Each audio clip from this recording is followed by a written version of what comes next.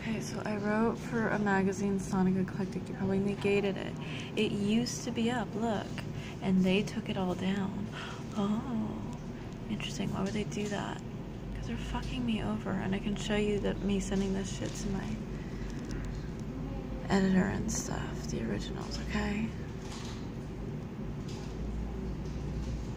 So I'll show you this whole video. This is on the link below. Copy this for you and I'll put it up with this tape. Goes over some articles, man. So it's just giving you an example. These links that don't work anymore, well, they used to.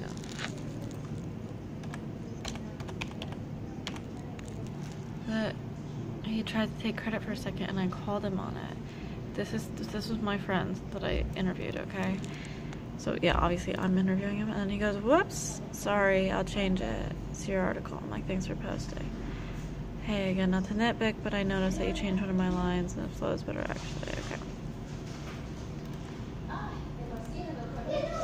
Okay. I'm sending him articles, you guys. Anyone? You dig? Here's the pictures. I'm sending him pictures for my article. PDF.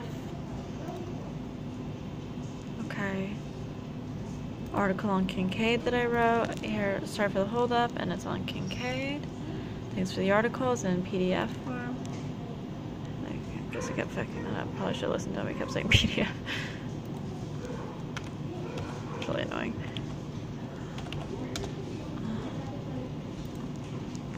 Okay, and here's just, look, you guys. Here's another article that I wrote, and another one, and an, oh, and another one, and another one. You guys said these things didn't, and another one. Here's the exact thing that I showed you, and I showed you the pictures. Yeah, you guys, original by me. Just talking about the baby boomer generation, sociological. See, sociological, environmental collapses sound like someone you know. Yeah technological depression and what that does to people. Art for art's sake. I literally just said that for today. Yeah, okay, exactly. That's what I'm talking about.